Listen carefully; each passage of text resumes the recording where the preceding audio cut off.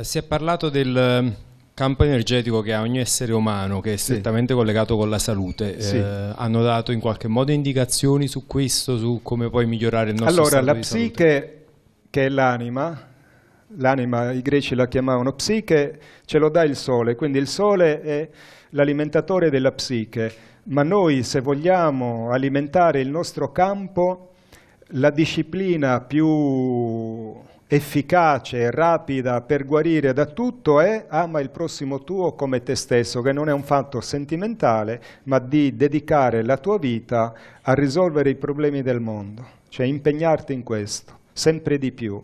Lì guarisci da tutto. Quelli con la vita e con la morte ci giocano come noi da bambini giocavamo con le birille, con le palline di vetro, non hanno nessun problema. Resuscitano i morti, possono fare qualsiasi cosa, sono gli dei,